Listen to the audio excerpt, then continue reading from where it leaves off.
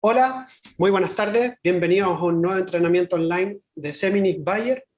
Eh, el entrenamiento del día de hoy está enfocado en manejos técnicos del cultivo de zapallo y vamos a ver lo que es zapallo italiano o calabacín y lo que es zapallo de guarda o macre eh, durante este entrenamiento. Mi nombre es Juan Ignacio Díaz, eh, soy el gerente de ventas para Chile y licenciamientos para Sudamérica y Va a estar también conmigo eh, más adelante en la presentación Marcelo Vera, así que eh, les quiero recordar que todas las preguntas que tengan las vayan poniendo en el chat y vamos a partir de inmediato con lo que es el portafolio de nuestras variedades de zapallo.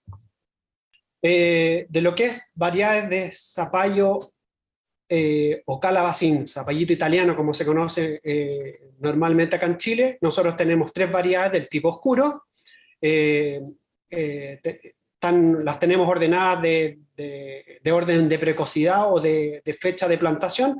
Tenemos Arauco, que es eh, la variedad que se ocupa para, para siembras o plantaciones tempranas, eh, que no tiene tolerancia. Después tenemos Chacabuco, que es la variedad que tiene ya un paquete de, tolerancia a, a virosis eh, intermedio y que es el que se pone en media estación o tarde. Y la variedad más nueva que tenemos eh, en cuanto a zapallo oscuro, que es yacaré, que, tiene tolerancia a oidio y también a virus, y que normalmente se está poniendo tanto para tarde, para plena o tarde, dadas eh, las tolerancias que, que este tiene. Yacaré estamos con, con, muy poco stock de semillas esta temporada, pero es una variedad que, viene gustando mucho y que está entrando muy bien en el mercado, eh, complementando las variedades que ya tenemos de zapallo que ya les nombré anteriormente. Y en lo que es zapallo claro o calabacín, eh, o, medio grey zucchini como se conocen, nuestra variedad más conocida o más antigua dentro del portafolio es Terminator, que que, se pone tanto en la zona norte como eh, en la zona de la quinta región, y eh, lo, que es, lo que tenemos como variedad nueva es el, la variedad 7464, que tiene como nombre comercial Romeral, que es una variedad también de plena estación, que también trae un paquete de tolerancias más mejorado con respecto a Terminator, no solo eh, la, la, tolerancia virus, sino que también tiene tolerancia a oidio, y eh, la mejora que tiene con respecto a Terminator es que tiene la cutícula más gruesa y eh, resiste más el rayado, por lo tanto tiene mejor eh, post cosecha y mejor, tolera mejor lo que es el traslado tanto desde Arica hacia la zona central y también los traslados internos en la quinta región para los distintos mercados, ya sean de, feria o mercados ya más grandes. Y lo que tenemos en cuanto a variedad de guarda o macre que se conoce, es nuestra variedad Jamboree, es una variedad bastante eh, antigua dentro del mercado, pero eh, podría decirse que es una de las con mejor guarda o mejor post cosecha, eh, haciendo los manejos adecuados de, de, rotación o de girar los zapallos para que estos no, no tengan picaduras dentro de las bodegas. Es una, es un material que está, va entre los 8 y 10 kilos, muy uniforme, con, con, bastante buen rendimiento, con una cavidad seminal eh, pequeña y con un color entre amarillo y anaranjado que, que anda muy bien, que, que, le gusta al consumidor eh, acá en Chile y, en, otra, en otras zonas también, que también está comercial en el resto de Sudamérica. Eh, Jamboree tiene tolerancias a, a varios virus, por lo tanto también es un tiene un muy buen comportamiento en campo eh, en lo que respecta a, virus o enfermedades. Los requerimientos de temperatura eh, de zapallo eh, son bastante similares a lo que comentamos en, la presentación anterior de sandía, que necesitan unos óptimos para tener un buen desarrollo de flores y del polen de estas flores para que se produzca la cuaja del zapallo. Eh, el óptimo de floración está entre 18 y 20 grados, y lo más importante en lo que es cultivo de zapallo es tratar de evitar las bajas temperaturas, porque como es una cucurbitácea y son eh, de, conductos o más de, capilaridad, más suculenta, con la helada se, eh, tienen más agua y se congela, por lo tanto hay mayor daño de, de la estructura de la planta. Así que eh, el ideal es mantener entre los 15 y los 25 grados eh, para tener un, desarrollo óptimo de las variedades, tanto de los zapallos tipo italiano o calabacín, como los macre o de guarda. En cuanto a, requerimientos de nutrientes, eh, en valores más o menos aproximados, eh, para producir 2,5 eh, o el consumo de nitrógeno que necesitamos para un zapallo es alrededor de 2,5 kilos de nitrógeno, 1,2 de fósforo, 4 de potasio, 0,8 de, de, calcio y 0,6 de magnesio para obtener un buen rendimiento de, del zapallo o, las toneladas que yo necesito para que mi cultivo sea, sea rentable.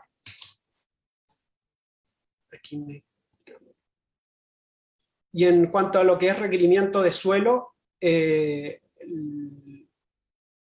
el, zapallo es un, material que es poco exigente eh, en cuanto a, lo que necesita. Eh, se da mejor cuando uno tiene un suelo fértil con buena materia orgánica y más franco arenoso, pero es importante que sea con una buena profundidad para que la raíz pueda explorar, eh, que tenga buen drenaje para que no se acumule y no tener eh, problemas de, de, ahogamiento de raíces. Y deberíamos andar en un pH rondando entre los 5, 6 y 7, 7 en cuanto a lo que es pH. Eh, es importante que la conductividad esté entre los rangos de 1,5 a 2,2 y si uno tiene, se pasa por sobre eso, empieza a tener pérdidas como, como se dan probablemente en la zona, en la zona norte, más de 3,3 milimos, ya tenemos un 10% de pérdida de, de, la planta o del establecimiento de plantas por los excesos de, de sales. Eh, por lo tanto, eh, es importante estar más o menos dentro de los rangos de 1,5 a 2,2, como les mencioné anteriormente. En cuanto a los costos, eh, vamos a hablar aquí de costos promedio de lo que es el cultivo de un metro de, mesa de zapallo. Vamos a hablar ahí de valores promedios de teniendo dos cintas, tenemos 100 pesos por, los dos, por metro con dos cintas de, para el riego, tenemos 100 pesos por cada metro de mulch, 250 pesos aproximado por, por dos plantas, en el metro, pensando en lo que es el zucchini o, el zapallo italiano, más o menos unos 400 pesos de gasto en lo que es fertilizantes, foliares, plaguicidas, eh, un gasto entre el regador y, bomba de agua en el caso, dependiendo de los casos de, riego que hayamos escogido para nuestro cultivo, y 100 pesos en lo que es arriendo de suelo. Entonces, haciendo la matemática con eso, nos da alrededor de 6.250 metros en lo que es el calabacín, que eso nos da un costo de cultivo de 7.200.000 o 9.500 dólares eh, aproximadamente, y en lo que es el tipo de zapallo guarda o macre, estamos hablando de un promedio de 3.300 metros con eh, 5.000, o sea, 3 millones 7 de, de costo, casi la mitad de lo que tenemos en el zapallo italiano, y aproximadamente 5.000 dólares eh, en el comparativo de, de costo de, implementación de cultivo. Y para tener, eh, o que sea este cultivo rentable, tenemos que tener al menos unos rendimientos, una estimación de rendimiento de al menos unos 8.000, eh, o sea, tenemos 8.000 plantas con, cosechando 12.000 zapallos del tipo italiano, tenemos más o menos 96.000 unidades a 100 pesos de peso de precio promedio de, venta, ahí nos dan los, los 9.600.000 de, de, de retorno y que nos hace con, con, con, la presentación o con la slide anterior, que hablamos con 7 millones más o menos de, de gasto, nos da una rentabilidad de, casi 2 millones y medio por lo menos por, por hectárea con, el que, con lo que es el zapallo eh, tipo zucchini o italiano. Y lo que es el zapallo de guarda, estamos hablando de más o menos en mil plantas a, a 10 kilos por, por, por zapallo, estamos hablando de, un promedio de 60.000 kilos, a 100 pesos también el, kilo de zapallo y nos da una rentabilidad de aproximadamente 6 millones, con los 3 millones que teníamos de gasto nos da eh, una rentabilidad también de casi 2 millones 8 o bordeando eso, dependiendo un poco de, si es una fecha para temprano, plena o tarde, eh, dependiendo del cultivo. Así que eh, viendo un poco de lo que es la producción del zapallo y lo que les comenté, le voy a dar el pase ahora a Marcelo para empezar lo que es el manejo y, del cultivo y ya partiendo con los almácicos, que es lo que viene ahora. Eh, gracias Nacho, muy buenas tardes, esperando que todos se encuentren muy bien junto a su familia, especialmente por este tema eh, contingencial que es el COVID. Eh, esperemos que todos nuestros agricultores y todas las personas que lo estén mirando eh, estén en buenas condiciones de salud. Eh, como dijo Ignacio anteriormente, mi nombre es Marcelo Vera, trabajo en el área de venta en, en Chile y tenemos, ah, gracias a los agricultores, una gran experiencia en todo lo que son las cucurbitáceas. Por eso que hemos aprendido algunos trabajos y algunas enfermedades y algunas aplicaciones gracias a los agricultores, ya que ellos nos ayudan, cada vez que ellos se equivocan, nosotros aprendemos y lo vamos eh, copiando, como uno dice en la agricultura, copiar y pegar para que los demás no se equivoquen en, realizar estos cultivos. Eh, anteriormente Juan Ignacio dio algunos eh, parámetros, ¿cierto?, de, los costos de los cultivos, son parámetros para que el agricultor se comience a, a ver qué es lo que gasta. En el caso de los eh, plástico, etcétera, etcétera. Si uno calcula el costo que tuvo el zapallo Macre el año pasado de guarda en Chile, obviamente estamos hablando de 400 pesos el kilo, incluso más. Por lo tanto, los, rendimientos, los costos que tuvieron fueron menores y las ganancias fueron bastante suculentas. Pero es un año atípico en comparación a otros años. Esperemos que este año pase lo mismo y que las rentabilidades sean eh, mayores. Vamos a ver todo el tema de los almácigos. Y en este caso uno dice, eh, eh, ¿Cómo tengo que hacerlo al máximo? ¿Qué es lo que tengo que hacer? Eh, no olviden realizar las preguntas por chat y al final del, de la presentación le vamos a, hacer, vamos a contestar todas sus preguntas. ¿Quién puede vender la semilla de Seminis? ¿Cierto? o vender las plantas. ¿Qué es lo que hago? Dice el agricultor. Contrato en las plantineras, hago los almácigos en mis propios predios, o hago la siembra directa y finalmente se hace la pregunta al agricultor, ¿quiénes son nuestros distribuidores? Aquí tienen una red de distribuidores en Chile que las pueden ver, después esta presentación va a quedar eh, en la red y luego los pueden preguntar eh, o entrar a la página de Semini y van a ver cada uno de nuestros distribuidores en Chile, tanto plantinera como distribuidores que vendan nuestras semillas. ¿Qué es lo que es más recomendable? El agricultor se pregunta, generalmente yo les digo, va a depender de cada uno de, las instancias que tenga el agricultor cuándo va a plantar. Si tengo un agricultor que va a hacer plantaciones para temprano, lo más recomendable es que mande a hacer sus plantas en una plantinera, porque la plantinera, con el contrato que hace, le va a entregar la planta en el momento adecuado, en el porte adecuado y en la fecha que está establecida. A veces hay unos atrasos de parte de ambos, tanto del agricultor muchas veces porque llueve y no preparó el terreno, eh, y la plantinera está obligada a mantenerla, ¿cierto?, en sus en su, eh, estructuras, eh, con temperatura, empiezan a subir las plantas y empiezan a, a elongarse un poco, a etiolarse, y hay un problema ya del agricultor. Pero el agricultor tiene que entender de que si yo tengo una fecha el 15 de agosto, tiene que tener preparado el 15 de agosto. Muchas veces las plantineras tienen un error de 5 días, 6 días, pero y a veces incluso nada. Pero lo importante es que haya una muy buena conversación con ellos. Si yo quiero hacer las plantas como agricultor y tengo los invernaderos y tengo la estructura y tengo el personal adecuado y tengo eh, las condiciones para hacerlo, obviamente, y está acostumbrado a hacer sus plantas, no tiene ningún, problema, puede hacer sus plantas tal como lo ha hecho en los últimos 5, 10 o 20 años. Eh, y si yo voy a hacer una siembra directa, ahí lo que le recomiendo al agricultor comprar la semilla, preparar el suelo, tener humedad y hacerlo en las fechas donde la temperatura está sobre los 15 grados hacia arriba, tal como le indicó anteriormente Juan Ignacio. Hay que estar muy atento que las cucurbitáceas necesitan temperaturas óptimas para poder germinar y para evitar las pérdidas de, semilla o de germinación eh, por parte de las condiciones climáticas. Eso es muy importante el, que planifiquen qué es lo que va a hacer cada uno de los agricultores. Si yo voy a hacer la planta como agricultor, eh, lo principal es que tenga algunas características como lo hacen las plantineras.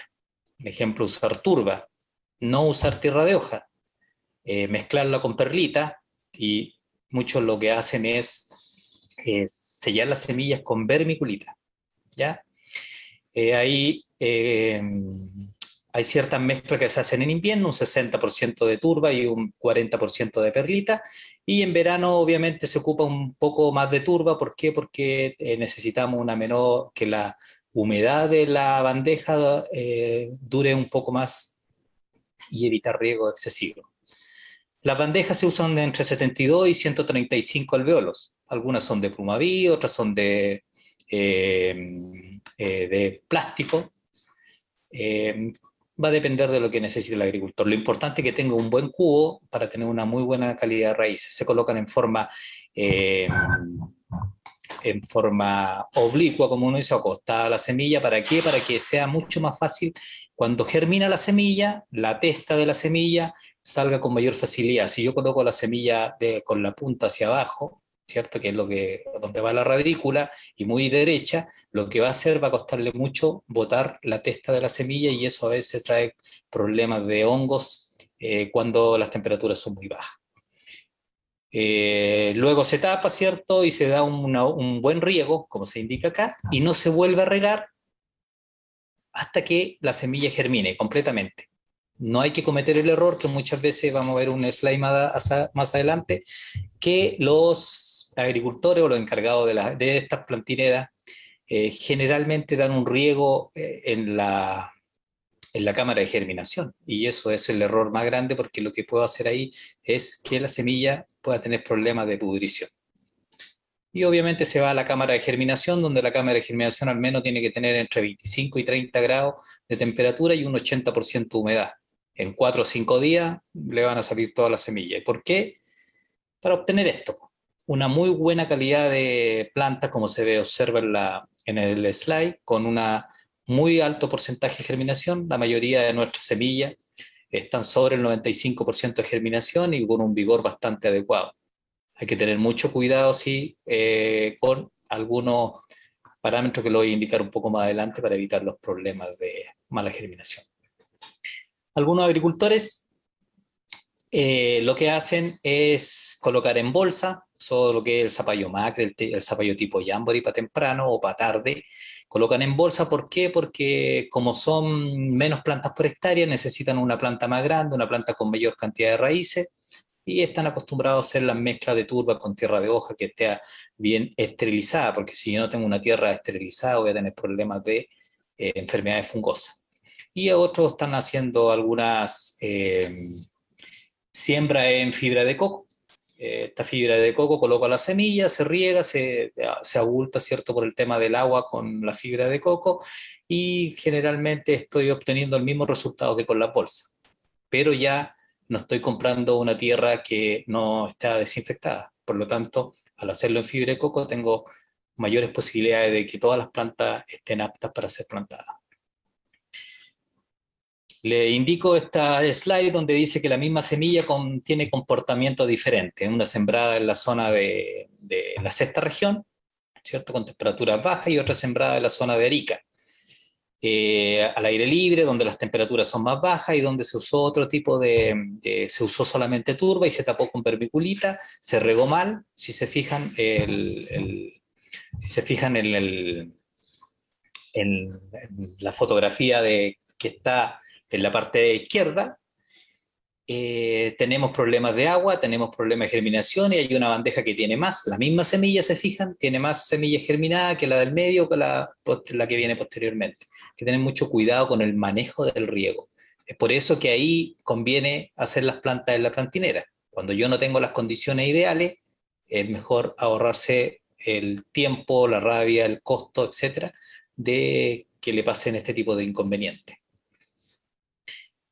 Otro problema que se ve bastante son el, uso de turbas puras.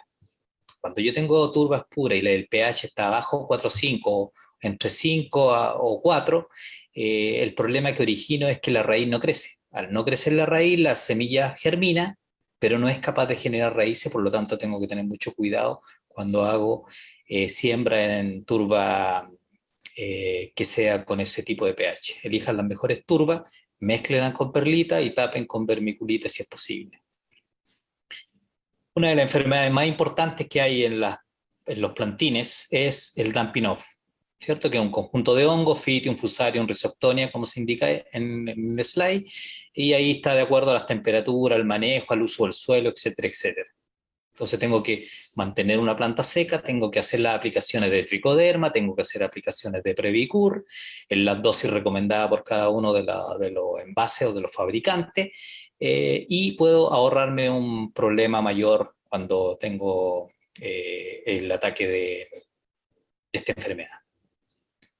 Aplicaciones de productos sistémicos, lo que hacen es dañar los ápices de crecimiento. A medida que crece la planta y van saliendo las flores, las hojas eh, verdaderas, empiezan a aparecer una especie de hojas con virosis, pero no es virosis, es una intoxicación por productos que hacen los agricultores en las dosis no recomendadas y eh, cuando le recomiendan 20 cc de un producto, el agricultor generalmente lo que hace es tirarle 25 o tirarle 30. Cuando yo tiro 30 yo subí un 50% la dosis. Cuando tiro 25 yo estoy subiendo un, 25% la dosis. Se fijan que es muy...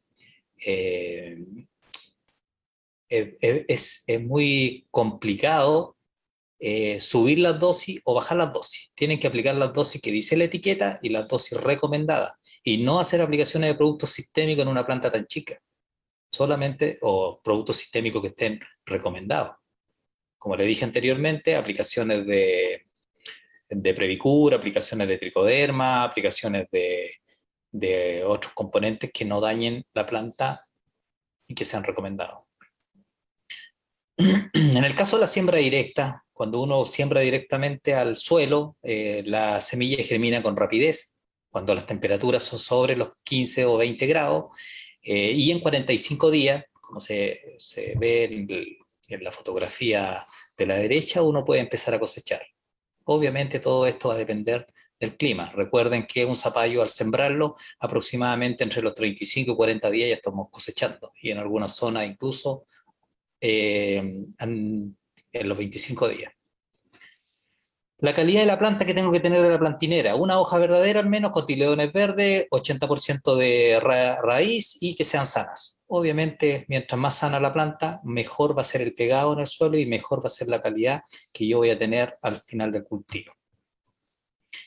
Por lo tanto, hasta ahora lo primero que tiene que hacer el agricultor es ver dónde voy a vender el producto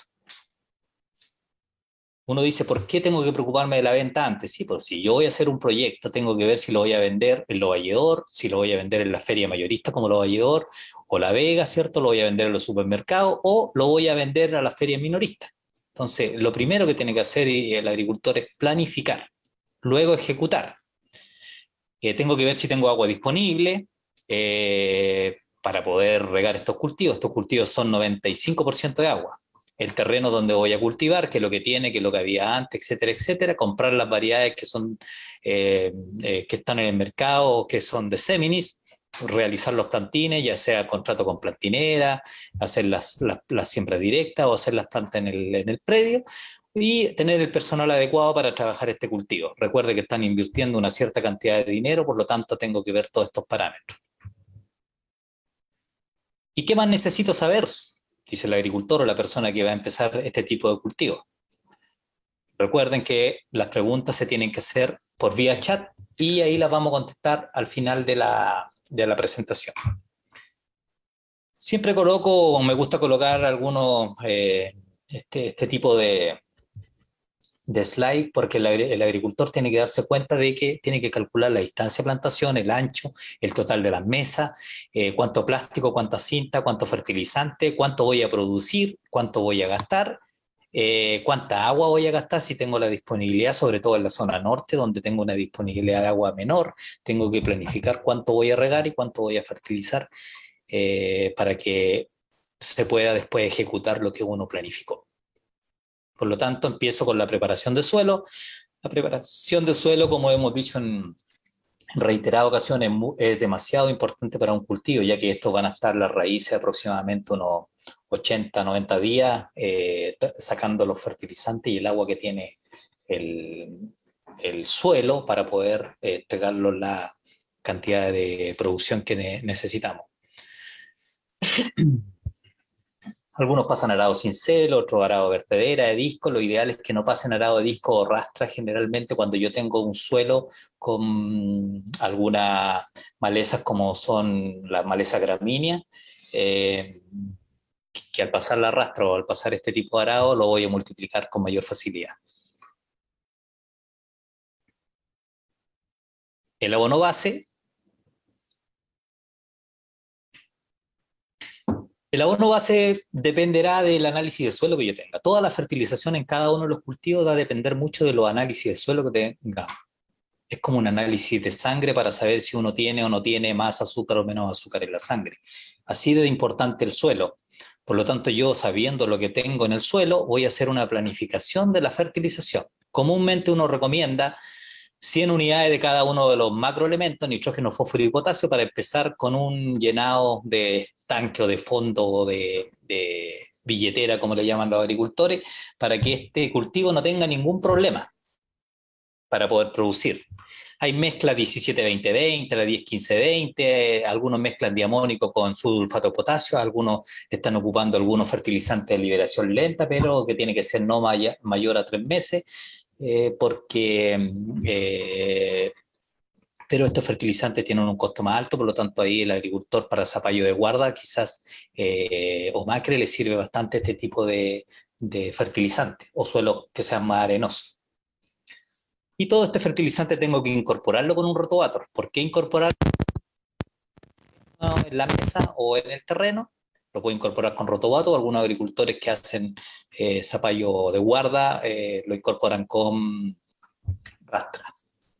Y ahí como se ve en la fotografía hay un agricultor tirándolo a mano, obviamente aquí hay una mayor, no sé si mayor tecnología, pero él eh, está tratando de, tirarla a la distancia que correspondía, hacer las mesas de acuerdo a las indicaciones que se le dan. Este agricultor es bastante ordenado, pero es muy lento el proceso. Es mejor marcar con un tractor, un, eh, un melgador, hacer la aplicación del fertilizante y luego pasar al rotovator.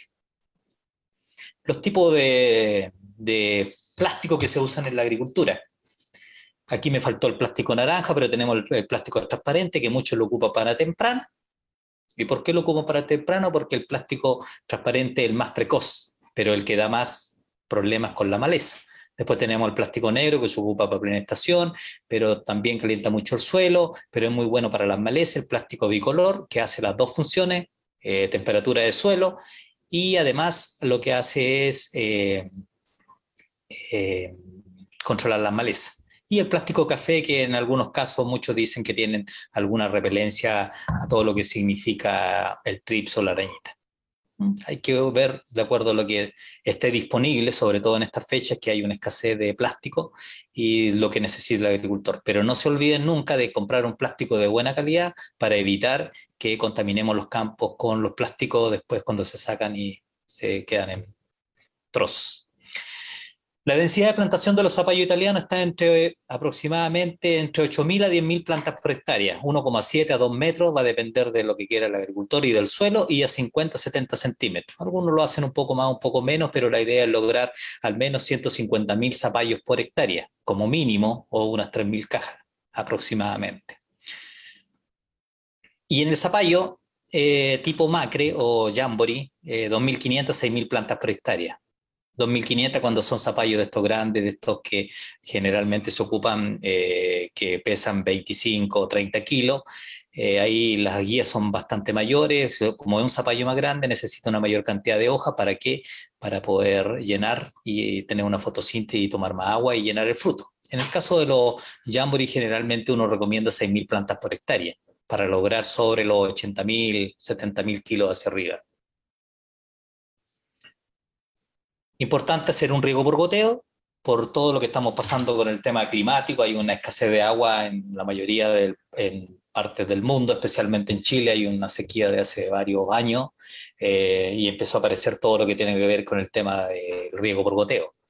Eh, tanto en Arica, si se dan cuenta, ya la, el agua es bastante escasa y ya se está usando mucho, yo diría el 100% en Arica de riego por goteo, en la zona central ya está, estamos llegando sobre el 80% y hacia el sur ya se ha ido implementando bien este tipo de, de riego. ¿Cuál es la gracia del riego por goteo? Como ven en la fotografía, un suelo que está con mucha piedra, yo puedo sustituir toda la deficiencia que tiene ese suelo con un riego por goteo, con planza, con, perdón, con con plástico y puedo llegar a, tener las mismas toneladas que tengo en un suelo más fértil. El riego por surco, que ya está en retirada, pero en muchas partes del sur de Chile todavía se sigue utilizando y obviamente en algunas partes de la sexta y séptima región también, debido a que tienen las acciones de agua y todavía hay una buena cantidad de agua para poder regar. Pero eh, se está utilizando más todo lo que tenga que ver con el riego por goteo. Algunos ocupan manga, como se ve en el video, ese tipo de manga con reguladores, y anda bastante bien en todo lo que es en la regulación del riego. Aquí podemos darnos cuenta que una planta, este es un, un, zapallo que se colocó en Arica. Allá colocan la menor eh, algunos colocan con plástico, otros sin plástico, pero en este caso la siembra directa, después se aleja la, la cinta del cuello de la planta, pero para tener un buen riego, que el 75% del regador, ¿cierto? Necesitamos algunos instrumentos. Como se ven en la fotografía, un conductímetro, pHímetro, tensiómetro, todo eso hace el 25 o el 20% de lo que necesita el operario de riego, porque tengo que tener registro. Al tener registro yo puedo tomar eh, algunas indicaciones para evitar pérdida en el cultivo si tengo una conductividad eléctrica muy alta, como dijo anteriormente Juan Ignacio, puedo llegar a tener pérdidas sobre el 100%. Si tengo conductividad de 6,3, llego al 50% de pérdida. Entonces hay que tener mucho cuidado y usar este tipo de implementos. Si tengo pH sobre 7, voy a tener una menor cantidad de microelementos absorbibles por las plantas. La importancia del riego, aquí como pueden darse cuenta, hay algunos agricultores que usan ese tipo de riego, otros agricultores hacen un sistema de riego mucho más eficiente. Eh, y aquí, como ven ustedes en la fotografía de la derecha, podemos darnos cuenta que eh, nos faltaría aquí un, eh, dos o tres dos baldes más para los nitratos, para los sulfatos y para el ácido. Y con eso podemos llegar a buen término en el cultivo un buen filtro. El filtro, recuerden que es como los riñones en el ser humano. Mientras de mejor calidad sea el filtro, menos se me van a tapar las cintas. Y al no taparse la cinta, voy a tener el potencial de esa cinta. Por lo menos con 1, 1,5 bar voy a tener 4 o 5 litros por metro. Va a depender de cada una de las cintas. Se usan cintas de 10, de 15 o de 20 centímetros eh, entre un gotero y otro, pero aproximadamente dan 4 a 5 litros por, por metro. Eh, no olviden que las preguntas las vamos a hacer al final, del, al final de, la, de, esta presentación, las vamos a contestar y vamos a entrar todo lo que es la plantación y la, floración del cultivo. Eh, antes de plantar o sembrar, tengo que ver si hice alguna aplicación de estiércol o guano, ¿cierto? El guano generalmente llevan larvas, larvas como la de platura. Eso cuando yo coloco la semilla, la semilla puede entrarle esta, este insecto y el agricultor piensa que la semilla eh, lleva el insecto incorporado y no.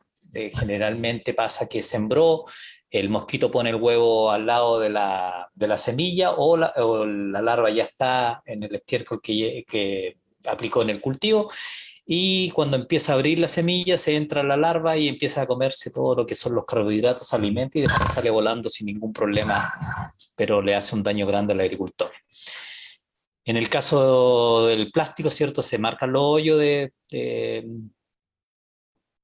Eh, se marcan los hoyos para hacer las plantas, se sumergen las plantas eh, un día antes, al menos. ¿Para qué? Para no desarmar el pan. O para no desarmar el cepillón o las raíces, para no dañarla. Eh, aplicamos leche. ¿Por qué aplicamos leche? Para evitar algunos virus ahí son creencias antiguas, uno piensa, pero uno encuentra la lógica que la leche tiene grasa, la grasa tiene aminoácidos y la planta o el virus se alimenta de esos aminoácidos, o lo que hace es también la leche es eh, evitar la deshidratación de las plantas, eh, debido a que deja una capa de grasa sobre ella, eh, y eso permite que los áfidos entren con menor, se les complique más meter el estilete en este tipo de, de cultivo. es muy bueno hacer una aplicación de leche, separar las bandejas por calidad y cuidar las temperaturas y no dejarla al aire libre o en los camiones, ¿cierto? Cuando las temperaturas están bajo cero, eh, porque hemos visto muchas pérdidas en algunos agricultores que se confían, no ven las temperaturas durante la noche en la televisión y pierden o tienen pérdidas considerables de la plantinera le dejó las plantas el día anterior, ellos no las taparon, no las pusieron en túnel o en los invernaderos que ellos tienen en su predio y lo que origina es una muerte total de las plantas. Apliquen, apliquen se pueden hacer aplicaciones de tricoderma, bacillus, y obviamente se colocan la abeja en este, estos 30 días para poder polinizar. Los trabajos y labores importantes en estos días también es, como hablábamos anteriormente, marcar el hoyo de plantación, hacer el aterrado para que se evite todo el tema de, del efecto volcán, eh, colocar los arcos, colocar la manta, hacer aplicaciones de microelementos durante estos 30 días, controlar muy bien todo lo que sea el tema de pulgones, los 30 días en un zapallo italiano son de vital importancia por todo lo que tenga que ver con las infectaciones de eh, la virosis. Por lo tanto, ustedes compren la semilla o compren la planta y también tienen que hacer la compra de los insecticidas orgánicos o, químicos para el control de los vectores. Y el control de maleza en los pasillos, etcétera, etcétera la postura de alambre como se ve ahí, de una manera simple de colocar. Y comienza la plantación, como se ve en, el video, el agricultor toma la planta, que antes la se repartió, ¿cierto? Se le aplica tierra, se, le, se ven los cotileones, no se, no se echa tierra a los cotileones. El error que se comete muchas veces es echarle tierra y se tapan los cotileones. Al hacer eso puedo tener problemas de enfermedades como la esclerotinia u otras enfermedades que pueden ser bacterianas incluso y entran a la planta se hace la aplicación de insecticidas correspondientes si es que no apliqué, eh, y en el caso de, en el caso de la siembra, eh, como se ve acá, el agricultor coloca con, con la mano, ¿cierto?, la semilla, a veces la coloca en el plástico de un, este un, la fotografía del medio, una, una siembra que se hizo post cultivo, después de un melón, se le echó eh, turba, se sembró la semilla, se dio un buen riego y la semilla salió sin ningún problema. Se coloca la manta y el plástico, algunos agricultores lo que hacen es colocar ambos, otros agricultores solamente colocan plástico. Está muy eh, arraigado acá que se, empiece, empezó a ocupar todo lo que es el sistema de plástico y manta. Con eso yo evito temperatura y tengo cultivos de primores mucho más eh, rápido pero los costos son más altos. Ahí el agricultor apuesta que, lo, que el precio esté sobre los 100 pesos, como hablábamos anteriormente, o la caja al menos esté sobre los 7 mil pesos cada una de las cajas. Otro, en otras partes de, de, mm, Sudamérica, ¿cierto? Me parece una foto esta que me la enviaron de Uruguay.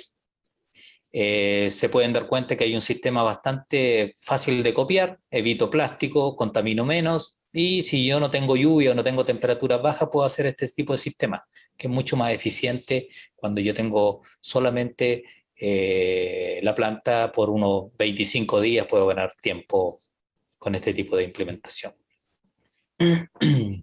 Hay que tener mucho cuidado con el uso de cebos. Cuando yo aplico cebo de esta manera, como se ve en la fotografía, y el cebo es para controlar el gusano, ¿cierto? Algunos mezclan eh, frechillo con un insecticida, sea orgánico o químico, y el gusano se lo come y muere, ¿cierto? Pero la, forma de aplicarlo es solamente un granito, porque si yo aplico de esa manera puedo tener muchos problemas con muerte de animales, y eso está prohibido también. Entonces hay que tener mucho cuidado con lo que hacen los agricultores que no estén eh, haciendo un trabajo, no porque aplique más producto, eh, voy a matar más rápido a la, plaga. Otro tema importante es la salinidad. Como dije anteriormente, la salinidad afecta al cultivo y tengo que tener mucho cuidado porque si se ven acá, da cuenta, con conductividad de 6 ya la planta murió y con conductividad de 1,8 la planta ya empieza a tirar sus raíces y empieza a ser mucho más efectiva. Pasamos a todo lo que tenga que ver con las enfermedades. Como ven en la fotografía, aquí hay un alto ataque de áfido pulgones. Este cultivo no tiene más de 25-30 días. Y aquí lo que podemos hacer es hacer aplicaciones de Bulldog, que es un producto que tiene Bayer, ¿cierto? 80-100 cc por hectárea.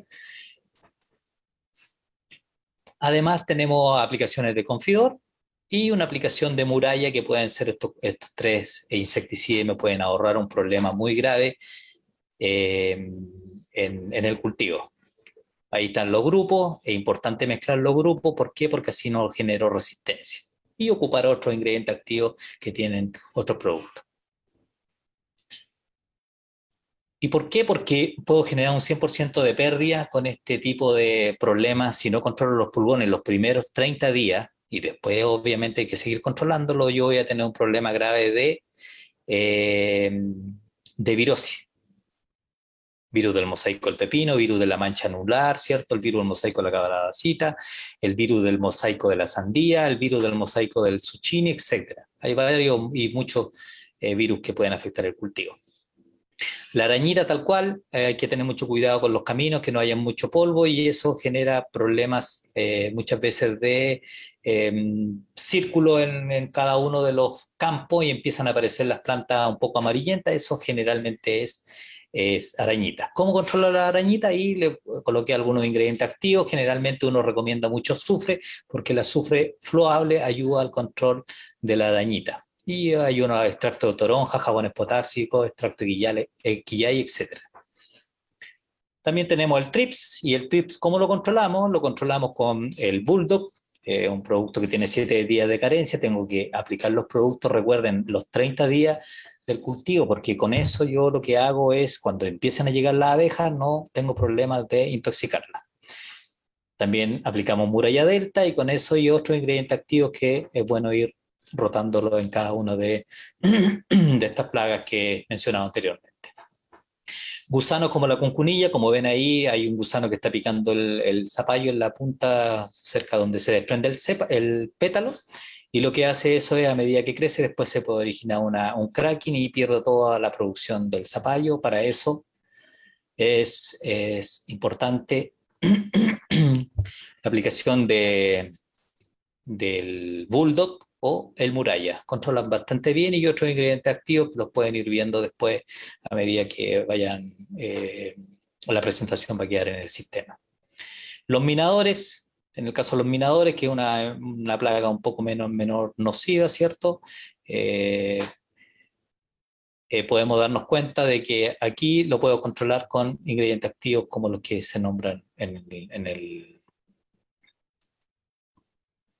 como la ciromaxina o la adamectina.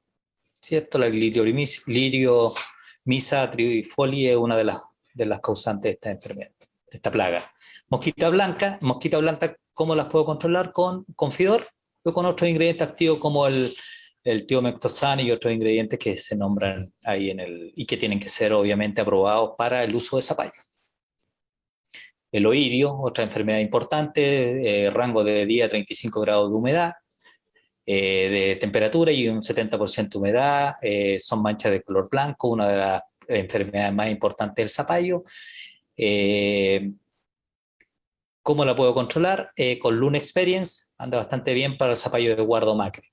¿Mm? Para zapallo italiano tienen que usarse otros ingredientes activos que estén o que estén autorizados, eh, como los que se detallan ahí en el,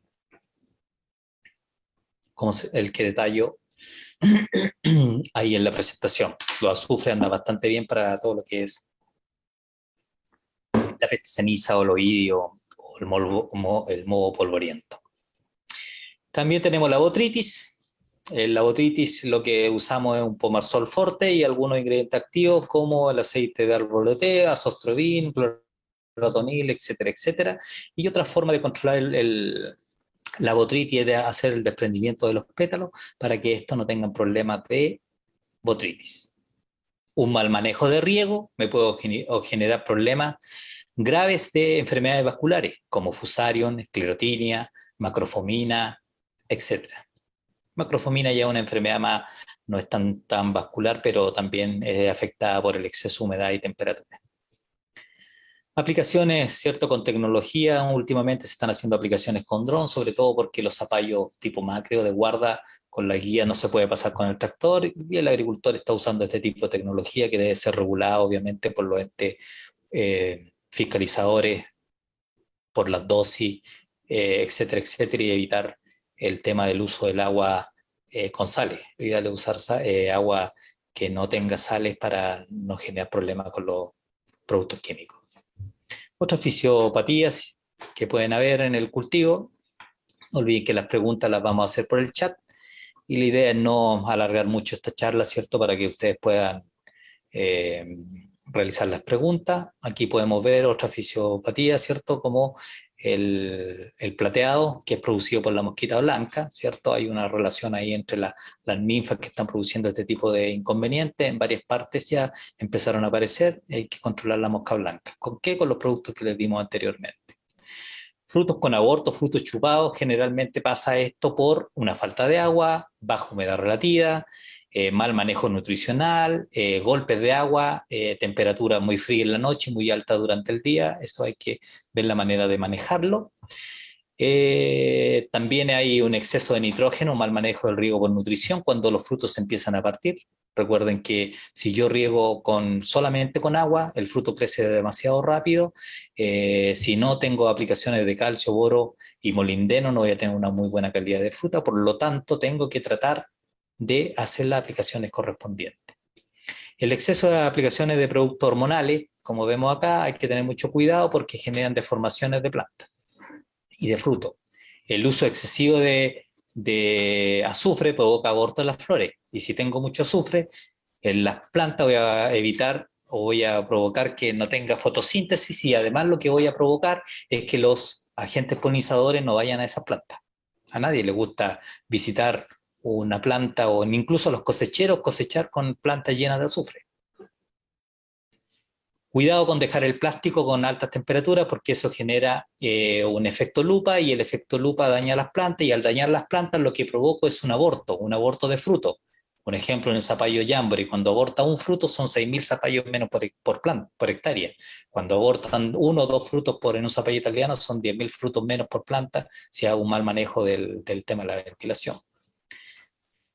El otro, bajas temperaturas, pueden dañar el cultivo. Temperaturas bajo cero, como dijo anteriormente Juan Ignacio, eh, pueden dañar el cultivo, por lo tanto yo tengo que ver bien las temperaturas que lo indican los entes gubernamentales, ¿cierto? Que lo indican qué temperatura van a haber, o las aplicaciones que hay muchas veces en los celulares de AquaWeather, etcétera, o, o, de otras instancias, ¿cierto? Otros estamentos que lo ayudan a ver qué temperatura van a haber durante la semana.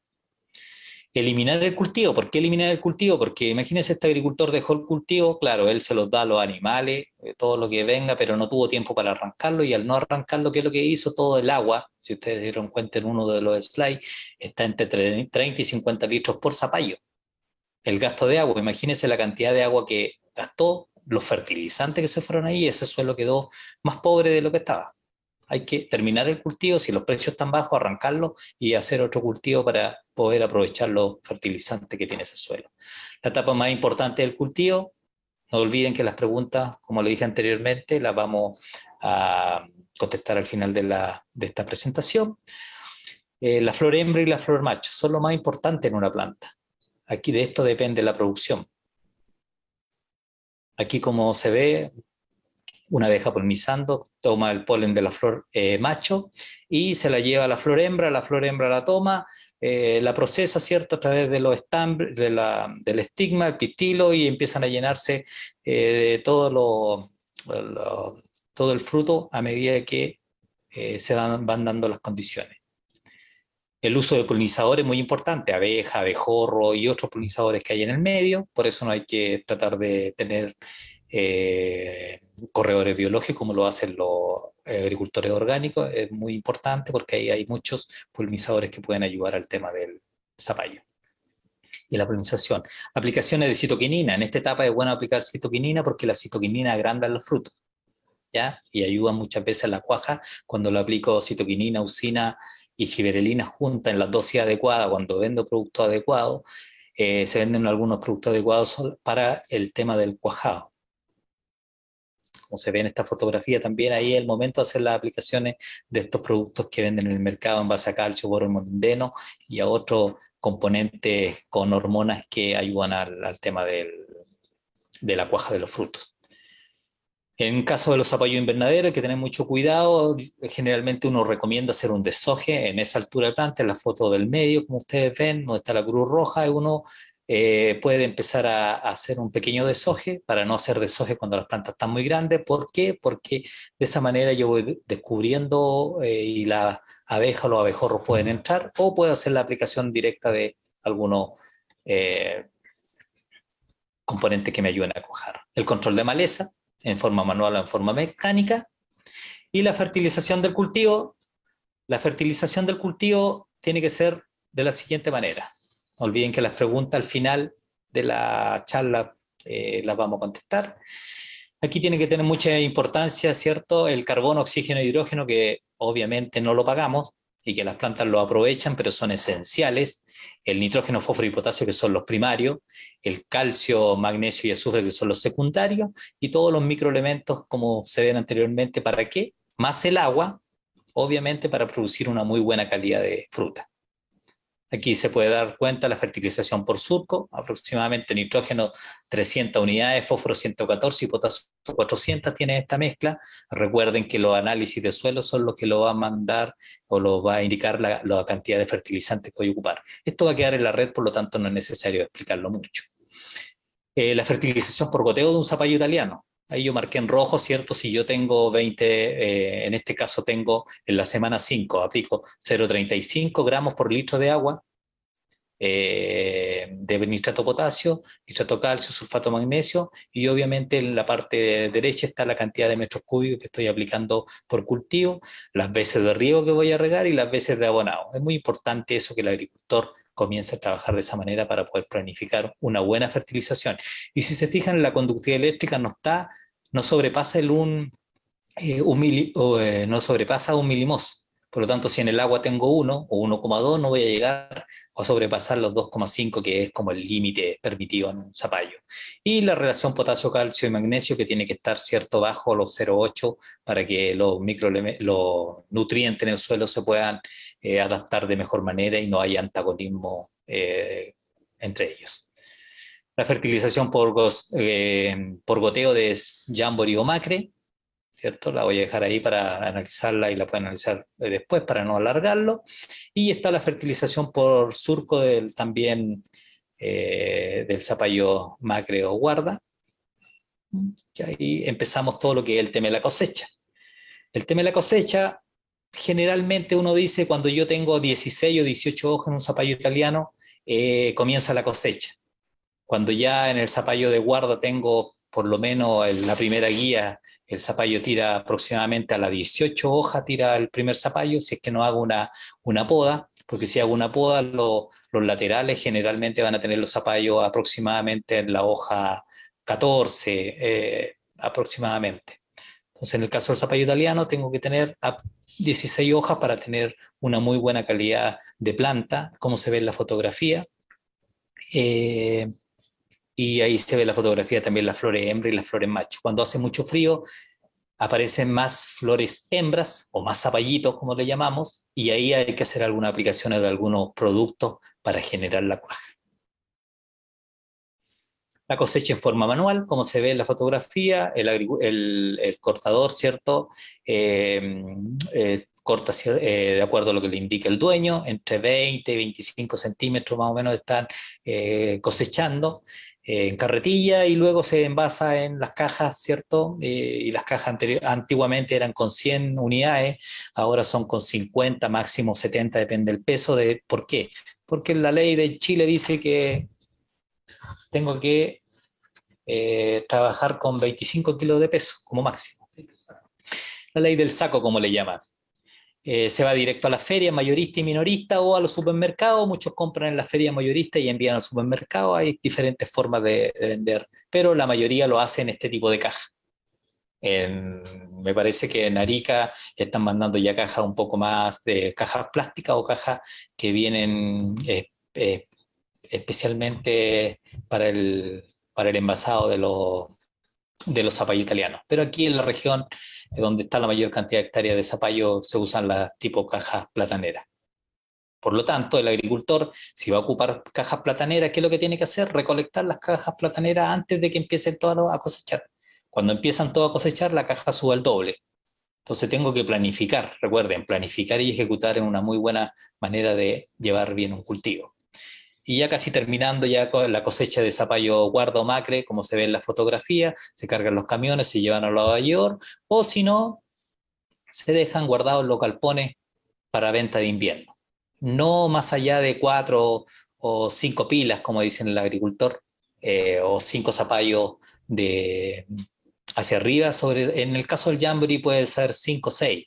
En el caso del zapallo más grande, el tipo macre, ¿cierto? Zapallo de 15 o 20 kilos, generalmente dejan tres, eh, eh, tres pilas, como le llamo, tres zapallos hacia arriba para no, con el peso no dañar y no presentar algunos problemas como lo que se llama la picada negra, que algunos eh, indican, ¿cierto?, que la picada negra es Ulucladium cucurbitae, otros dicen que puede ser alternaria, etcétera, pero las últimas investigaciones dicen que eh, la picada negra corresponde a ese género o a ese tipo de, a esa especie que le, que le estoy indicando en, entre paréntesis. Características, cierto que debe tener el galpón, 12 a 15 grados, con 70% humedad, se debe ventilar para que los zapallos no les pase ese tipo de inconveniente y si les pasa el tipo de inconveniente como lo que estamos viendo ahora, ¿cierto? En el proceso de curado se ocupa la famosa cal, ese agricultor debería estar usando aguante, pero el agricultor generalmente no hace mucho caso a algunas reglas, obviamente ahora último con las nuevas normas de seguridad tienen que usar guante, pero se le echa cal y empieza todo a solucionar el tema de la picada negra.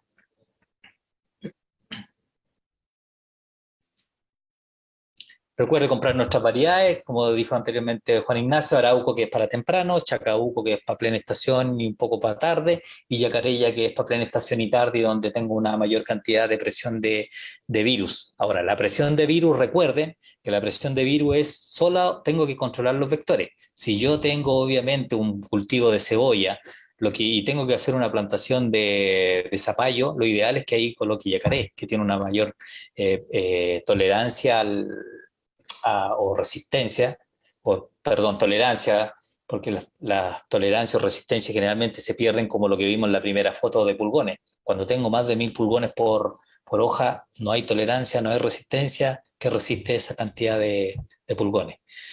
Eh, Romeral, Terminator y obviamente el Jamboree, que es una de las variedades que le puede servir bastante para todo lo que tenga que ver con el, la guarda de los zapallos italianos llegamos ya al término. Eh, le agradecemos la presencia a todas las personas que están conectadas.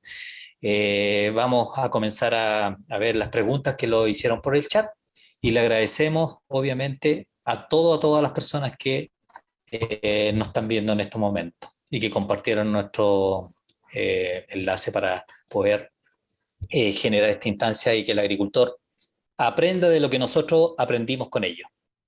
Eso es simplemente lo que hacemos en las charlas entregar el conocimiento de lo que hemos aprendido a través de los años eh, gracias a nuestros agricultores. Semenis Bayer está preocupado de todos nuestros agricultores en esta pandemia y em, eh, vamos ahora a comenzar con a responder las preguntas que están apareciendo en el chat.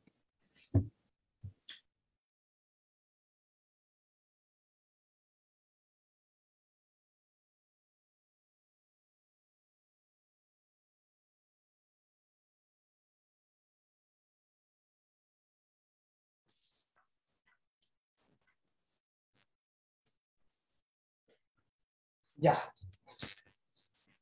Listo. Gracias Marcelo por tu presentación. Vamos ahora a partir con la ronda de preguntas. tenemos preguntas en distintos formatos, en el chat, nos mandan aquí por los WhatsApp que tenemos nosotros, eh, eh, acá en los teléfonos, entonces vamos a ir seleccionando preguntas para ir contestando de inmediato.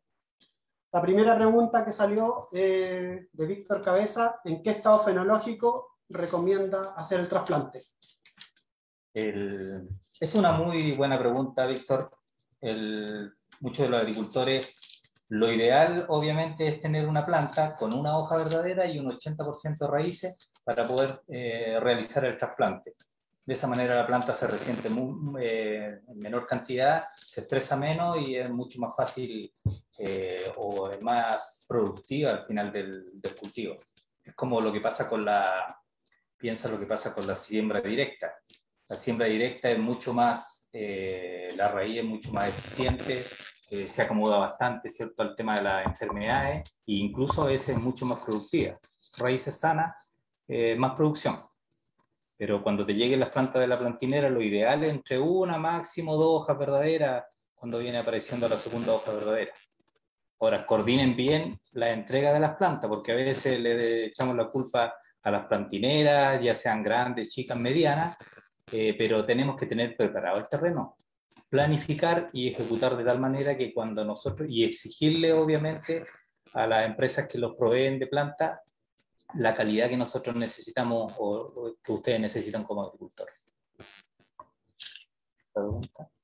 La siguiente pregunta, Marcelo, vamos aquí eh, de Eder.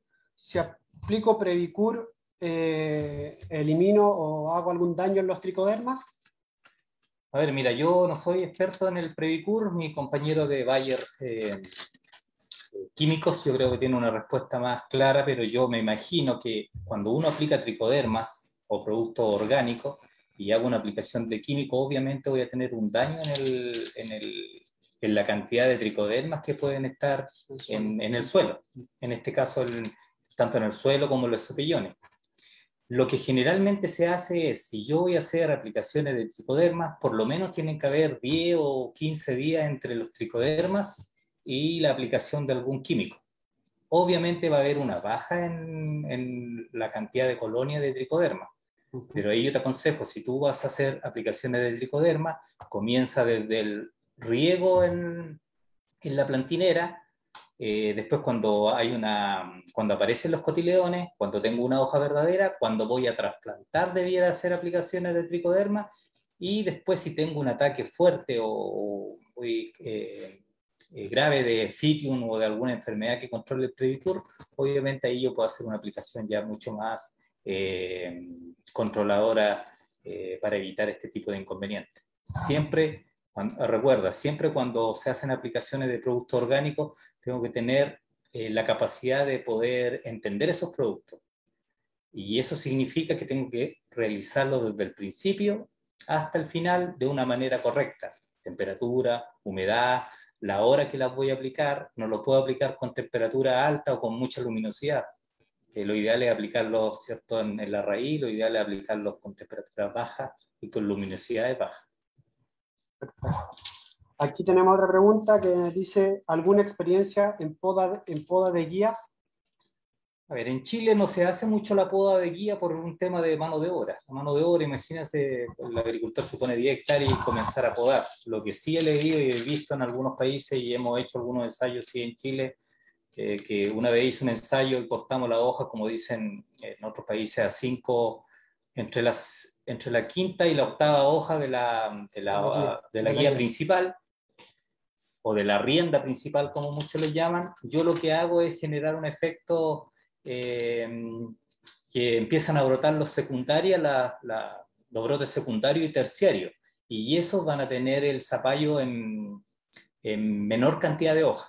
Tienen que pensar que un zapallo macre, un zapallo de guarda, sale aproximadamente entre la hoja 18 y 20 el zapallo. Por lo tanto, si yo lo corto entre la quinta y la octava hoja, lo que hago genero hojas, eh, brotes secundarios y voy a tener los zapallos mucho más cerca de la planta. Es como el efecto que pasa en, los melones cuando uno los poda. Eh, pero ahí lo que se puede perder es el, porte del zapallo. Si yo quiero tener precocidad, obviamente puedo hacer una poda, Pero si yo quiero tener zapallo de estos macre que son, o zapallo de guarda que son, ¿cierto?, de 18 o 20 kilos, eh, lo que puedo hacer es perder el porte de ese zapallo. No así en los zapallos híbridos, que lo podríamos realizar, eh, pero por mano de obra generalmente no lo, no lo, eh, no lo hacemos acá en Chile. Te podemos mandar información, envíalo un correo, déjalo tus datos y yo te puedo pasar información de lo que se está haciendo en, otro, en otras partes del mundo. Acá tenemos otra pregunta. ¿Qué porcentaje de nitrógeno aplico en floración y cuaja? A ver, mira, eh, siempre uno se pregunta cómo lo hacen los agricultores que sacan la mayor cantidad de zapallo. Ah, la mayoría aplican en la zona central uria, que es nitrógeno puro, ¿cierto? O salitre rosado, que le llaman, o nitrato potasio, que es 13 y 44 de nitrógeno, ¿cierto? El, en el tema del zapallo, como se invierte una cierta cantidad de, dinero bastante alta, eh, debiéramos empezar a fertilizar tal como se le indicó acá en la presentación. O sea, fertilización lo hizo un experto en riego como don Rafa Elizondo, y él ya está eh, asesorándolo en todo lo que tiene que ver con la fertilización. ¿Qué significa eso? Que tengo que tener muy bien controlado todo lo que son el nitrógeno, fósforo y potasio, las conductividades del agua, las conductividades que lo da cada uno de los fertilizantes y las relaciones de potasio, calcio y magnesio para que haya un buen sinergismo, ¿cierto? Y no se provoque un antagonismo en el suelo. Por lo tanto, de las 200 y tantas unidades de nitrógeno, generalmente uno dice el nitrógeno en la mayoría de las especies, antes de los 50 días yo debiera tener ya el 70% del nitrógeno. ¿ya? Por lo tanto, eh, yo debiera aplicar al menos al principio del cultivo eh, un 30% del nitrógeno, en la primera porco, en los primeros 30 días debiera ser otro, un 30% y durante la floración a cosecha debiera estar aplicando el otro, 30, el otro 40% aproximadamente. Pero dale una mirada a la fertilización que te indicamos en, en, el, en la, en la en la, presentación y te vas a dar cuenta que uno tiene que ir cambiando ya la manera de fertilizar. ¿Por qué se provocan los abortos? Por una fertilización mal balanceada. Yo aplico mucho nitrógeno en la floración y lo que voy a generar va a ser aborto. Pero si aplico poco nitrógeno, lo que voy a hacer, voy a tener menos fruto. Y poca planta para cubrir los frutos. Exactamente, y poca planta para cubrir los frutos. Por lo tanto, darle una mirada y te dar cuenta que está más o menos entre 30% al principio, un 40% en la mitad del cultivo y ya después de la floración y cuaja estamos ocupando el otro 40%. Acá hay una pregunta buena aquí. A medida que la planta crece, ¿es necesario ir moviendo las cintas de riego? ¿Qué distancia se recomienda entre la cinta y la planta? A ver, eh, en el caso del zapallo italiano es difícil correr la cinta porque ya está puesto el plástico. En Chile se ocupa mucho plástico por un tema de maleza y por un tema de, la, evaporación y, para cuidar el agua. Eh, en el caso del zapallo macre o el zapallo de guarda de Jamboree, eh, lo que puedo hacer yo ir alejando un poco la cinta, pero no más allá del cuello de la planta de unos 25 a 30 centímetros aproximadamente. ¿Por qué? Porque si la dejo muy apegada al cuello, lo que voy a tener, tanto en zapallo italiano o zapallo de guarda o macre, ¿cierto? Voy a tener problemas de, esclerotinia. Por ende, como regla principal, uno debiera alejar el, del cuello de la, del zapallo eh, de la planta, por lo menos tengo que alejarlo unos 25 a 30 centímetros.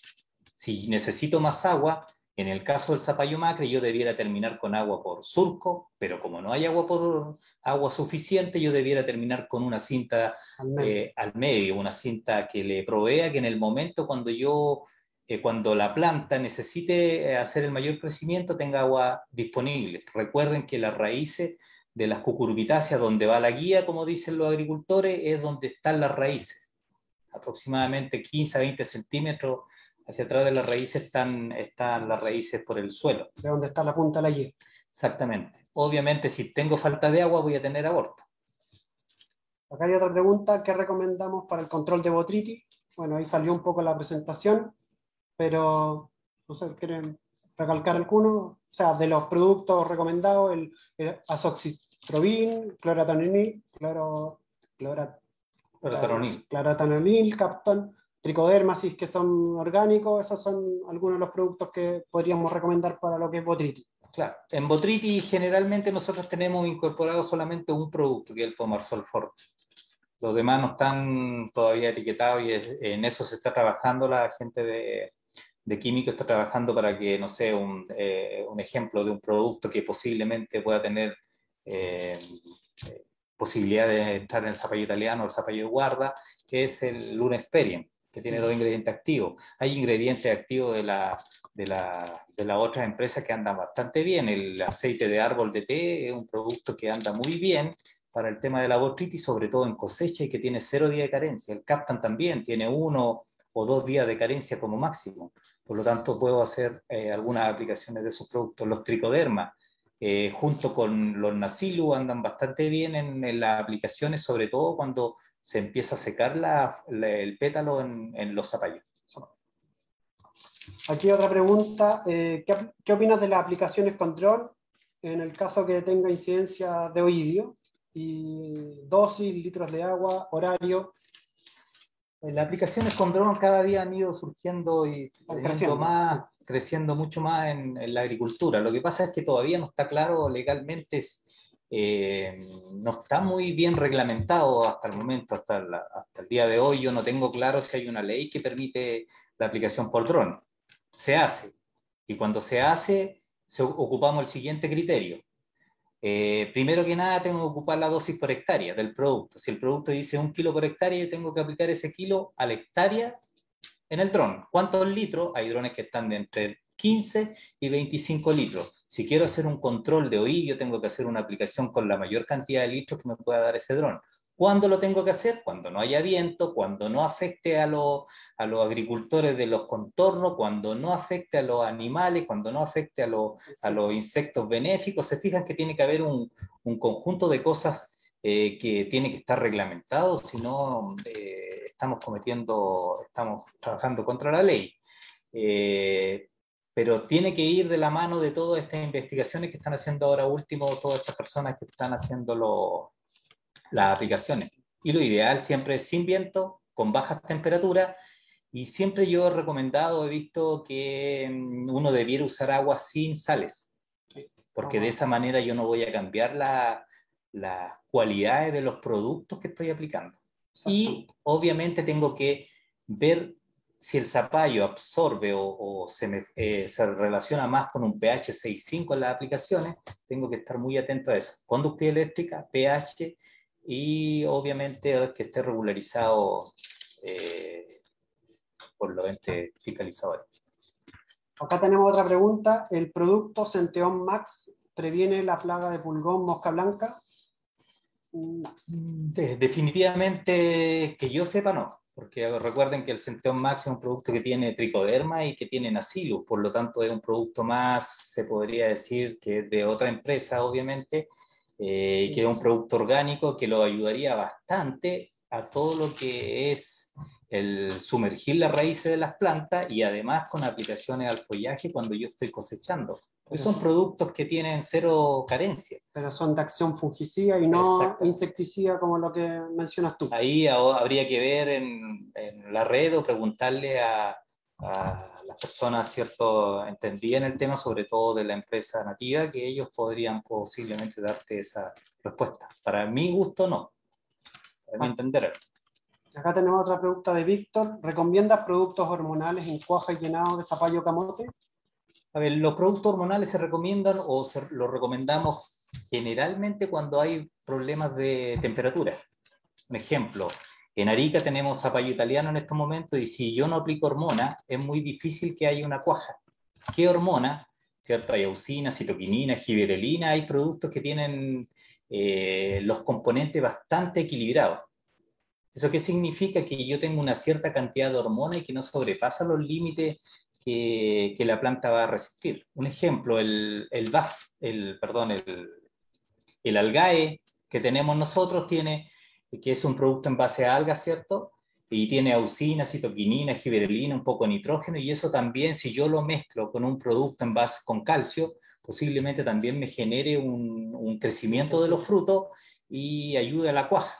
Hay varios productos en el mercado en base a calcio, boro, molindeno, eh, zinc, y ahora último se está incluyendo el silicio incluso, eh, en mezclas con la hormona auxina, citoquinina y giberelinas que ayudan mucho al tema de la, del crecimiento de fruto. Como dije en una de las slides, uno recomienda aplicaciones de citoquinina al follaje, ya sean naturales o ya sean en forma artificial. Acá tenemos una pregunta de Laurita. Gracias, Laurita, por estar aquí con nosotros. Eh, ¿Alguna novedad eh, de este año 2021 en el portafolio? La verdad que eh, los últimos materiales que hemos sacado al mercado, en lo que es zapallo oscuro, es yacaré, que es la, la, variedad que les mencioné yo al inicio y Marcelo ahora al final de la presentación, que tiene tolerancia a oidio, que es un zapallo oscuro tipo chacabuco, eh, con tolerancia a virus y tolerancia a, a oidio. Y en lo que es zapallo claro, eh, tenemos la variedad romeral, que, es un zapallo como tipo Terminator, para la quinta región y para Arica, que tiene, también tiene tolerancia a oidio, eh, también tolerancia a virus y también tiene una cutícula muy gruesa que, le permite tener una muy buena post cosecha y llegar sin problema a, los mercados porque no se raya y tiene muy buena eh, resistencia a, la manipulación. Aquí tenemos otra pregunta. Eh, ¿Cuántos frutos me debe dar una planta de zapallo camote? a ver, un zapallo camote te puede dar 20 frutos o 30. El problema es que mm, siempre uno le explica a los agricultores como cuando uno gana el sueldo mínimo y tiene cinco hijos. Es muy difícil mantenerlos. Posiblemente en algún momento ninguno va a salir eh, como indica uno, va a tener, todos no van a tener la misma educación, todos no van a tener los mismos zapatos, todos no van a tener los mismos beneficios, etc. En las plantas pasa lo mismo. Por lo tanto, si yo tengo una planta que tiene un muy buen sistema radicular, ¿cierto? Y la alimento bien, la nutro bien y soy capaz de generar las aplicaciones de calcio, boro y molindeno en el momento correcto, hago las aplicaciones adecuadas de citoquinina, eh, cosecho en el momento adecuado, obviamente yo puedo tener más de tres frutos por planta. Pero generalmente en el tipo zapallo macre que hemos visto acá en Chile, que hay por lo menos unas, sobre las 4.000 hectáreas, eh, solamente zapallo del grande y la otra hay sobre 2.000 hectáreas del tipo zapallo Jamboree, eh, uno lo que está viendo es que son dos, dos zapallos, en el caso de los grandes, ¿cierto? De uno o dos zapallos como máximo. Recuerden que esos zapallos grandes, los macre que le llamamos, los que no son de certificados, ese tipo de zapallo pesa por lo menos 20 kilos, 25 kilos puede llegar a pesar. En el caso del zapallo tipo Jamboree hay, hay algunas variedades, ¿cierto?, que pesan 15, 12 kilos, en el caso de Jamboree 8 kilos, por lo tanto, la planta para mi gusto es capaz de soportar entre 20 y 30 kilos, así como, pero como máximo. Entonces hay que tener cuidado con eso. Puedes darte todos los frutos, pero esos frutos van a abortar. O no se van a eh, llenar todo. O no se van a llenar todo porque la planta no es capaz. Yo, yo, comparto contigo ahí, al final el, la planta tiene la capacidad de llenar cierta cantidad de frutos y lo que hemos visto también, sobre todo con Jamboree, que uno puede cosechar eh, cuando ya llegamos como a madurez o, al, calibre adecuado, los 8 kilos más o menos, cortar ese fruto, dejarlo ahí que termine de, secar y que se, se, seque el pedúnculo, y los otros frutos que, que están en crecimiento, eh, permite, o sea, la planta los termina de llenar al descargarle ese fruto inicial o primario eh, dentro del, mismo cultivo con la misma planta. Entonces, eh, eso es lo que funciona bastante bien para tratar de sacarle el máximo potencial a la genética. Pero comparto contigo, Marcelo, que más de dos, dos frutos y medio no van, a, no van a lograr con un zapallo de estos híbridos en rendimiento. Si ustedes saquen la cuenta, ¿no? Por un zapallo híbrido puede llegar sobre los 100.000 kilos, 80, 120.000 kilos. He visto más en algunos casos. Pero un zapallo de, y eso lo divide por el número de plantas, van a ser dos eh, zapallos por, por, planta y con no muy alto eh, peso. Eh, y esos son los mejores agricultores. Y en el tipo zapallo macre, que es el grandote, ¿cierto? Eh, no estamos hablando más allá de 30.000 a 50.000 kilos como máximo. Piensen que el año pasado si un agricultor sacó 50.000 kilos y a 600 pesos el kilo, la verdad que no estaríamos sentados aquí con Nacho y seríamos dos zapalleros, pero no, es, no pasa eso todos los años. Acá tenemos otra pregunta de Colombia. ¿En qué depende que la planta nos dé más flores masculinas? ¿Solamente influye la temperatura? A ver, para que la planta dé un... Eh, todo lo que tenga que ver con la floración está relacionado con las temperaturas, el manejo nutricional y todo lo que tenga que ver con, eh, la variedad. Eh, pero está muy relacionado con el tema de la temperatura. Si hay baja temperatura, obviamente la planta va a absorber menos nutrientes. Eh, si tengo el pH alto, va a absorber menos micronutrientes y los micronutrientes que son responsables de generar una buena floración junto con el fósforo, potasio, calcio, magnesio y todo lo, como indicábamos anteriormente, macro y microelementos, eh, obviamente voy a empezar a tener problemas de, flores, de la planta. Va, la planta fisiológicamente lo que hace es entregar frutos para dejar descendencia.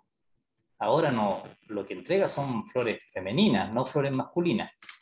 Entonces las flores masculinas empiezan a aparecer cuando las temperaturas son un poco más altas o cuando yo tengo una planta bastante equilibrada, que le llamamos las plantas generativas no las plantas que son un poco más arbustivas, que tienen una mayor cantidad de nitrógeno. Recuerden lo que dijo recién un agricultor, claro, preguntaba, ¿cuándo doy el nitrógeno? Por eso se parcializa, para tener una planta más generativa que una planta mucho más vegetativa. Influye mucho la temperatura, pero recuerden, es un triángulo. Temperatura, nutrientes y obviamente cómo se comporta la variedad en esa fecha. Yo no, disculpen, pero yo no puedo poner un arauco en verano porque a lo mejor voy a tener más presencia de virus, tengo que poner un chacabuco, un yacaré. Pero ese chacabuco yo lo puedo poner en invierno, pero va a ser más lento que un arauco. El arauco florece mejor, eh, cuaja mejor con frío que un chacabuco. Y debe ser por la resistencia, son diferentes variedades. Acá te pregunta Carlos, ¿qué foliares u hormonas se echan para el cuaje y el desarrollo de frutos? Ah, como dije anteriormente, hay varios en el mercado, pero fíjate bien en los productos que tienen calcio, boro, molindeno en cantidades adecuadas y eso mezclalo muchas veces con un producto que tenga auxina, citoquinina y gibrelina. En el mercado hay bastantes podría decir un, tres nombres para no complicar, eh, para no nombrar, no sé si nombrarlo o sí. Un ejemplo, el Rucán, el Rucán cuaja. que es un producto que es bastante bueno para hacer cuajar frutos, lo mezcláis con algún producto con aminoácidos y nutrientes como el frutalí, maxifrut, etc. Eh, hay un producto que se llama el Vitafos, mezclado con, con, otro producto que tiene hormona, anda bastante bien, el y con algún producto como el SET que tiene calcio y boro. Te fijas, hay muchos productos, hay un producto también que es el que tienen los, los clorofil, que anda muy bien, pero hay varios en el mercado. Fíjate que tenga calcio, boro, molindeno. Recuerda que el boro está relacionado con el tubo polínico, la calidad del polen, que se lo hace más viable, el molindeno igual. Eh, con todo lo que tiene que relación con el estigma. Por lo tanto, si tengo un polen de buena calidad, ya que tengo esos microelementos, eh, eh, voy a tener una mayor posibilidad de que la abeja o el viento sean capaces de, de polinizar. si no, voy a tener una flor mucho más robusta. Por lo tanto, cuando le hago la aplicación de estos productos que son para cuaja, eh, voy a tener una mayor facilidad de, que estos productos, de, este, la fruta, Acá preguntan, ¿cuáles son las recomendaciones para un zapallo camote temprano si se pone con microtúnel? Ahí indicamos, ¿cierto? Las, las condiciones son, primero que nada, eh, una buena planta, una buena fertilización base. Te diste cuenta ahí que la fertilización base que uno usa es 100 unidades de nitrógeno, fósforo y potasio. ¿Para qué? Para ahorrarse un poco de, dinero más adelante. Recuerda que tú para temprano lo que haces es plantar y muchas veces viene en lluvia, no puedes regar, por lo tanto al no poder regar la planta necesita nutrirse y si no puedes regar, ¿cómo lo vas a nutrir si no hiciste una buena aplicación de abono base? Plantar bien, tener un arco, por lo menos usar plásticos de un y medio, dos metros, algunos colocan manta, algunos colocan el doble túnel, eh, y yo obviamente tengo que sacar el túnel a medida que va avanzando el cultivo para evitar el efecto lupa. Eh, y aplicaciones en el momento oportuno de todo lo que tenga que ver con los vectores que generan, sobre todo en el zapallo macre que no tiene resistencia, son estos zapallos que se venden de semillas que no son híbridas, eh, voy a tener problemas de virosis. Aquí en Chile hay las, se han ido corriendo las zonas por tema de virosis. Antiguamente era eh, la zona de Paine y ahora ya está en la sexta y ahora la mayoría de los agricultores se ha ido corriendo hacia la séptima región, o sea, 200 kilómetros hacia el sur, eh, van todo lo que tenga que ver con los cultivos. Eso lo hace el cambio climático y el monocultivo que hacemos. pasa lo mismo con nuestros cultivos. Y la presión de plagas. Exactamente. Acá tenemos otra pregunta. ¿Qué, experiencia tienes en plantaciones de Big Plant en zapallo? A ver, en algún momento hicimos eh, una plantación con uno de los agricultores importantes que es la zona de Paine, eh, y la verdad que la mayoría de los agricultores en Chile eh, hace las plantas de este tipo de zapallo en, en bolsa. Esas bolsas tienen que tener tierra de hoja, se tienen que llenar eh, y muchas otras consideraciones donde son los gastos. Y cuando uno empieza a ver los gastos del cultivo y tengo un grow, grow block que es de fibra de coco, que yo lo meto al agua con fertilizante, con tricoderma si quiero, coloco la semilla eh, y me va a dar el mismo efecto que, que una bolsa o, en este caso para hacer eh, primor, eh, yo prefiero el tema de los grow blocks. Eh, ¿Qué es lo importante? Que al momento de plantar, yo tengo que hacer el, el, edificio que por lo menos son de 20 por 20 o de 10 por 10. Tengo que hacer un hoyo más grande tengo que tener el suelo bastante húmedo, tengo que acercar la cinta al cuello de la planta para que el, el, grow block no se seque, porque si se llega a secar voy a tener problemas. Pierdo, pierdo lo que gané en raíces, se pierde... Exactamente. Piensen que una, una planta con un cubo más chico se demora aproximadamente entre 7 y 15 días en tirar la raíz. Una, una planta con grow block o con bolsa, en este caso con grow block, se demora cuatro días y en cuatro días ya la planta está en condiciones de empezar a alimentarse sola. Entonces yo a los agricultores les recomiendo, los que colocan Paprimor, eh, si tienen la posibilidad de usar esa tecnología, anda bastante bien. Se necesita un poco más de espacio, pero voy a tener plantas mucho más sanas. Puedo elegir las plantas. Si tengo plantas viróticas en el invernadero, se fijan que yo la, tengo la capacidad de poder correrlas, de poder eh, colocarlas más chicas en un lado. La, en cambio, cuando uso plantas eh, las plantineras pueden venir un poco diferentes. Es un tema que, de acuerdo a los costos, es lo que va a querer el agricultor. Y además, muchos agricultores se saltan 15 o 20 días eh, y se ahorran muchas veces el plástico y la planta. Son cosas de. Es todo, todo es un tema financiero. Exactamente. Acá preguntan: ¿en invernadero cuajan las plantas? A ver, las plantas deberían cuajar en todos lados que se den las condiciones. Recuerden que la cuaja en las cucurbitáceas, especialmente en, los, los zapallos, en el caso del zapallo italiano invernadero, tengo que tener entre 18 y 25 grados, que son las temperaturas ideales, para que tenga una muy buena calidad de polen y ese polen a través del viento o de los abejorros, porque si yo no coloco abejorros, no coloquen abejas en los invernaderos, se van a morir todas. He visto agricultores que colocan abejas y la abeja, la, la, verdad que con el plástico, con la luminosidad y se desorientan, están acostumbrados a otro tipo de trabajo. Coloquen abejorros y por lo menos coloquen una caja de abejorro para eh, 5.000, no, para 3.000 plantas de 2.500 a 3.000 plantas de, de zapallo.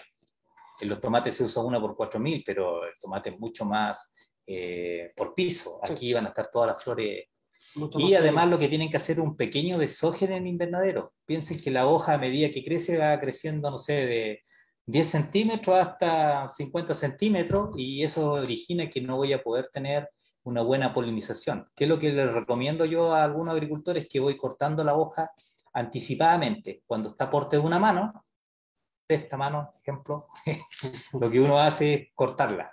Se hace una aplicación del tricoderma inacilo y obviamente la parte distal del, del zapallo va a estar mucho más desprotegida y va a tener más posibilidades de que se le apliquen hormonas o entre los abejorros.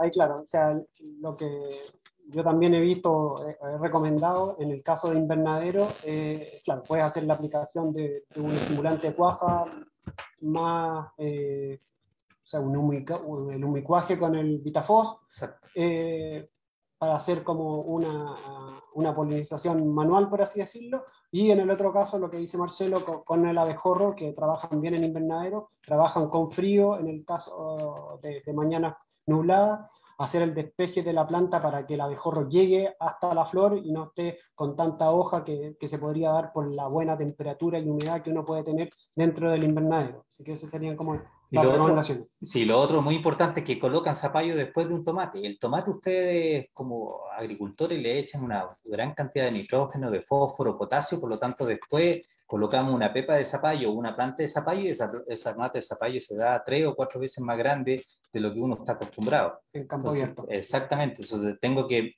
hacer una planta más generativa. Si tengo una planta con ese vigor, tengo que tratar de aumentar la conductividad eléctrica del riego para ir frenando un poco el, crecimiento. Aquí vamos a dejar la última pregunta. Las, otras preguntas que tengan las, van a ir, las dejan en el chat y nosotros las vamos a ir contestando. Si en el día hay una temperatura de 28 grados y en la noche llega a 14 grados, ¿afectaría algo en la planta? ¿Qué productos puedo utilizar para que no se afecte?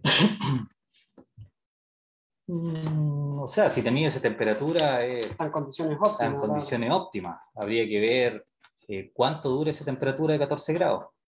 Porque una vez dice, no tengo 14 grados en la noche, pero ¿cuántas horas son?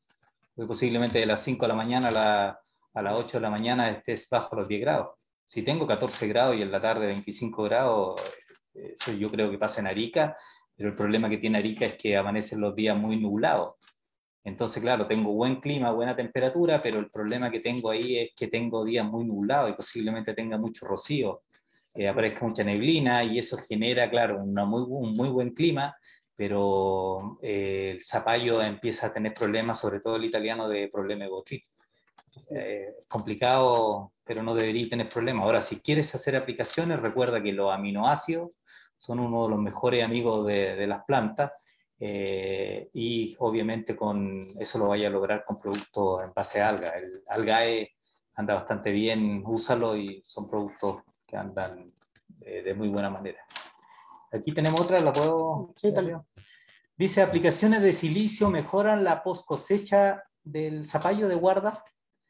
Eh, últimamente se ha usado mucho el silicio. El silicio, yo cuando voy a alguna de las charlas de silicio, lo primero que uno dice es que después del oxígeno viene el silicio. Por lo tanto, hay una mucha cantidad de silicio en, todas partes.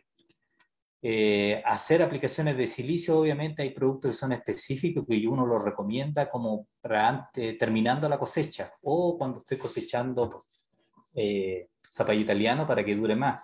Tiene una eh, cosecha bastante adecuada, pero eso tiene que ir de una nutrición también con todo lo que tenga que ver con el calcio y el boro para poder tener una cutícula mucho más firme y para que no haya un roce, ¿cierto? en el caso de la picada negra, eh, en el zapallo de macro guarda, lo que hace uno es, debiera hacer aplicaciones de, cal, de silicio y de calcio antes de recoger esos frutos y antes de enviarlo, no sé, a la feria mayorista o, al galpón.